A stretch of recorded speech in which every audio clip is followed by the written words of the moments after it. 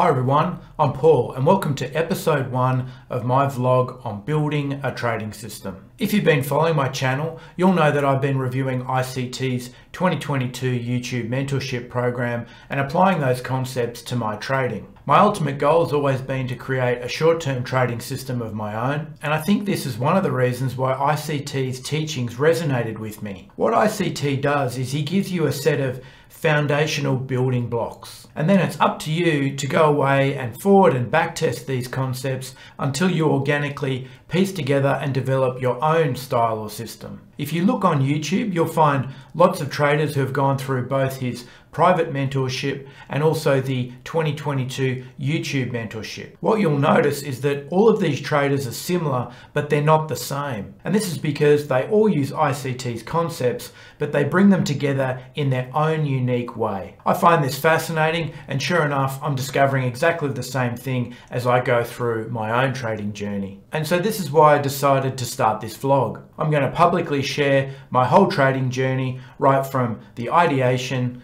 to back testing to forward testing and then eventually implementing into a live trading account and then sharing those results. With any luck, by the end of the process, I will have built my trading system and hopefully helped and inspired a whole bunch of other people to do the same thing along the way. So wish me luck, wish me luck. So please make sure you like this video, subscribe to my channel, and let's jump into today's video. So today's video is building a trading system the very first episode in my vlog. So I'm just going to start off by going through some initial thoughts and some high level goals for this vlog. And then we're going to look at trading system ideation. And so this is effectively just playing around with some ideas that will hopefully lead into what will hopefully become a trading system that we're able to use and start going to some proper testing and then eventually maybe some implementation.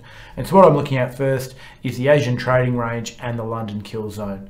And I'll be using a trading example on Bitcoin from the 4th of September 2022. So my initial thoughts and some goals for this vlog. At its foundation, I'm looking to apply ICT's concepts and develop my own short-term trading system. For me, it's really important that I build a system and trade assets that suit my lifestyle. And so what does that mean? Well, I live in Australia and so trading the New York time zone, for example, that New York Open is quite difficult for me because that's pretty much at midnight my time. And so whilst I've had a lot of success in terms of my back and forward testing, using that particular model, it just doesn't really work for me because I have other commitments, I've got a family, and so really trading that time zone and that asset class isn't going to work for me regardless of how successful I can be with it. So as a consequence, I really need to find a time of day and assets that are going to work for me and are going to be something that I can really trade sustainably over a long period of time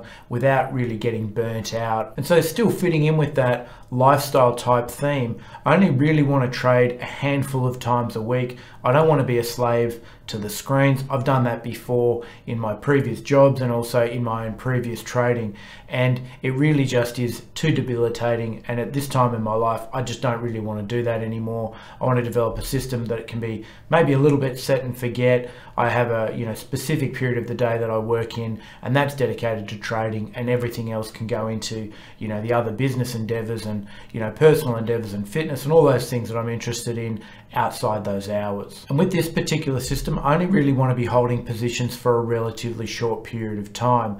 I've got other assets and other investments which I'm holding over different time frames so they sort of fulfill those longer term investment and trading objectives. With this particular system, I'm really just looking at something that's going to be something that's short term, intraday, and that's it. At its core, the whole point of this trading system is that it'll be income producing and then this income will be taken and then channeled into other investments which will also be hopefully income producing which creates this compounding kind of effect. And as I said in the introduction, the whole point of this vlog is to build this in public, share the learnings and the results. And hopefully that helps other people who are on a similar journey or inspires other people to start this journey themselves. And so the first trade we're going to look at is Bitcoin on the 4th of September 2022. Now this is part of this trading system ideation phase. So really just looking at some concepts, throwing them up against the wall and seeing what sticks. And so the reason why the Asian range and the London Open appeal to me. That's sort of later in my afternoon and evening, and it's quite a good time for trading for me because kids are already home, you know, we've had dinner, and I've got some really good dedicated time to spend in front of the charts and look for those setups without any interruptions. The other thing that appeals to me about that London Open specifically, if you go through some of the videos on ICT's YouTube channel, you know, he talks that there's often a very high probability that you'll get the low or the high of the day, and that creates a lot of opportunities to take trades in that particular part of the session. I think there's also quite a lot of flexibility there because there's a lot of assets that can be traded across this period with success cryptocurrencies, FX, and even some indices. So I think there's a lot of flexibility there and there's going to be lots of opportunities to really extract some value out of this session. So this whole phase is just really about trialing this, seeing if there's some initial success before jumping into some more serious back testing and then forward testing. So let's kick off by determining our bias. So coming into this session, which is the 4th of September, you can see we've had the market trade down into this sort of 20,000 zone. We had that rally upwards and we're now in this process of a pullback and a consolidation back to the all-time highs around this sort of 20,000 level. And you can see here we've created these two bearish fair value gaps on the way down. And I've sort of termed this formation like a truck and trailer because you have a bearish fair value gap, the market trades back into it. And in the process of, you know, creating that displacement down when we break these swing lows, you get another bearish fair value gap. And when I've gone through and looked at the data on, you know, different time frames, not just the daily, but other shorter time frames because price is fractal. When you see this sort of truck and trailer formation, it generally precedes a strong follow through move. So that's sort of what I'm expecting. So going into the session, I have a bearish bias, but where specifically am I looking for liquidity to draw towards? So let's zoom in and we'll have a look at the charts closer to this range down here on the 4th of September and we'll sort of be able to determine from there where we think price is going to go. So now that we've zoomed in, I've just created this little checklist, if you like, of what we're exactly looking at. So as I mentioned before, we have these two bearish fair value gaps which are formed into this truck and trailer type formation. On this second bearish fair value gap, we can see the market's traded into it a number of times, so it's touched it four times. It hasn't quite filled that imbalance, but certainly we can be satisfied that we've traded up into that zone and we'd expect the market to start trading downwards. Now, the most likely draw on liquidity, I believe, is going to be down to this previous day low down here. So I'd expect to see that in the next session. And then from there, I'd expect price to start to draw towards this sell side liquidity relative equal lows down here. So you can see these three candles here have created all lows at very similar levels. So we'd expect stops to be residing below these levels. Now, I don't think we'd necessarily get there in the next session, but certainly over the next few sessions, I'd expect that we will start to draw towards that level. And once we breach that level, well, we just have to look at the price action and sort of make some determinations from there. But for the moment, really what we're looking for is for price to move down towards this previous day low and maybe pierce through that, but I don't expect it to make it all the way down to this sell side liquidity relative equal lows down here. So we've zoomed in now to our 15 minute chart and we can just orientate ourselves just before we start to go any more into the trade and the trade setup. You can see this is that second bearish fair value gap just residing up here. So we've got that touch into it. We've got our previous day high here, our previous day low here, and that sell side liquidity which is residing down there, those relative equal lows. So what we're expecting to see into this session is for the market to trade down and take out this previous day low, but we're not expecting it to make it all the way down to this sell side liquidity relative equal lows down here. So if we zoom in now to our five minute chart, you can see we have our Asian trading range just here, and we haven't yet gone into the London open just here or that London kill zone. Now, the important thing to note in the Asian trading range is we mark out the high of that range and then the low of that range. And what we're looking for is for price to break through either the sell side liquidity, so the low of that range, or to break through the buy side liquidity or the high of that range. And that's going to help us to make a decision about how we're going to take our trade and in which direction as we go into that London Open kill zone. Now remember we're using New York time so even though we're not trading in that session we're still using the time in New York as our basis and you can see we have midnight New York time labeled here and we've marked out the open and dragged that across. So remember we have a bearish bias going into this session so what we're really expecting to happen is for price to go above the midnight open take out this buy side liquidity and then trade down towards this previous day low down here. And so this is our power of three concept in action. So we have our manipulation, accumulation, and then distribution. But keep in mind, we're also expecting to see either the high or the low of the day in the London session, and that's going to give us a clear indication on the setup that we should be taking as well. So let's just play the market forward now and see how the price action evolved, and I'll just walk through what I was thinking as I was watching this as it happened. So we can see we start to trade above that midnight open, which is what I was expecting.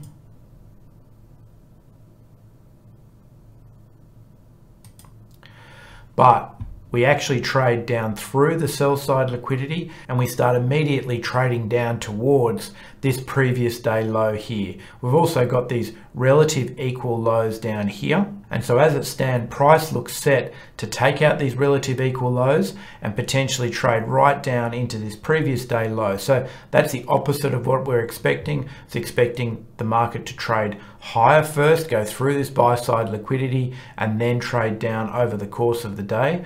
But what we're seeing at the moment is the market's going straight towards this level and potentially what we're going to see is the low of the day and that's actually going to give us the opportunity to go long. So our prediction on where price will draw to has been correct but potentially our bias for this session might be wrong but that doesn't necessarily mean that there won't be a setup that we can take advantage of. So let's play the market forward a little bit more and see what happens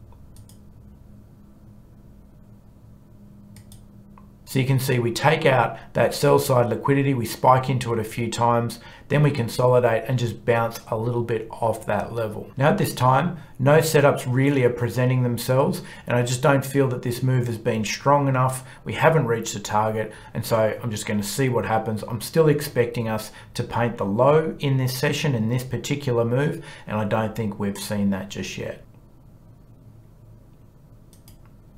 And so you can see that's the reaction we are expecting. We take out that sell side liquidity, these previous lows here, and then we spike down through that previous day low that we were looking at in our initial assessment when we were determining our bias. So from this point, I'm expecting that we've painted the low of the day and I'm looking now to take a long trade on that basis and trade back up in towards that midnight open. So from here, I'm going to zoom in now to the three minute chart. That's the one I've had a lot of success with Bitcoin on and it just tends to be a bit cleaner. One minute tends to be a little bit too thin and the four and five minute you tend to not get a great risk reward. So three tends to be the sweet spot. Sometimes you still get some nice entries at one. So we'll just go into three. That's the one that I end up taking the trade on. Now we'll just play it a little bit further forward.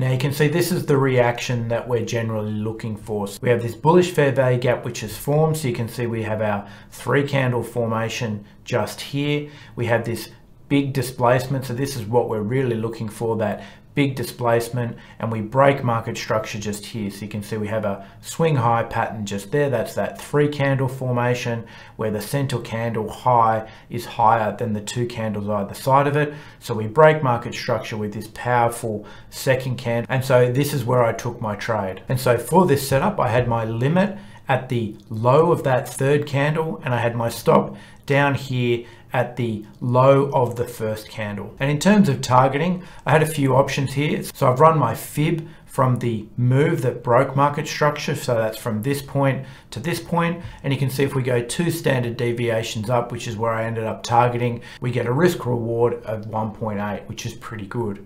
The other option I could have taken was to target this buy side liquidity, so the highs from the Asian session. And you can see if I would have done that, that gives about a two times risk reward. But that isn't what I did. I targeted this two standard deviations, which you can see is just below that high. So it's a slightly more conservative target to take. Now, if we play that forward, we can just have a look at how this trade would have gone.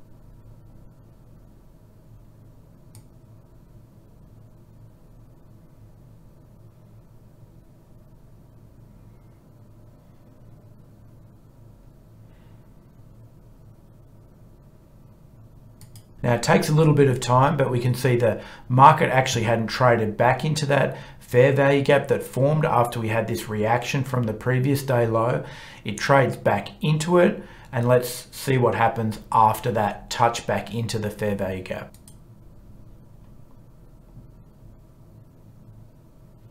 So you can see we immediately trade higher. We go right up to that two standard deviation levels. So our targets met almost immediately after trading down into that fair value gap. You can see we actually could have had our target at the highest from the Asian range because the market trades well up through that level. But remember, one of the core parts of ICT's teaching is to really go after that low hanging fruit and just compound the returns rather than looking for the big wins. Now, when I went back and reviewed this particular trade, I noticed that there was actually a setup that I missed on the one minute chart. Now, as I said before, the one minute chart can be a bit sort of spotty and the candles can be a little bit hard to read. And so often I don't like taking setups on that one minute chart just because I find it's not very clear and you tend to get a lot of gaps. But if we go back to where we traded down through that previous day low, you can see that there's a setup there on the one minute chart, which would have got us a much quicker return than the one that we took on the three minute chart. And so here's that setup on the one minute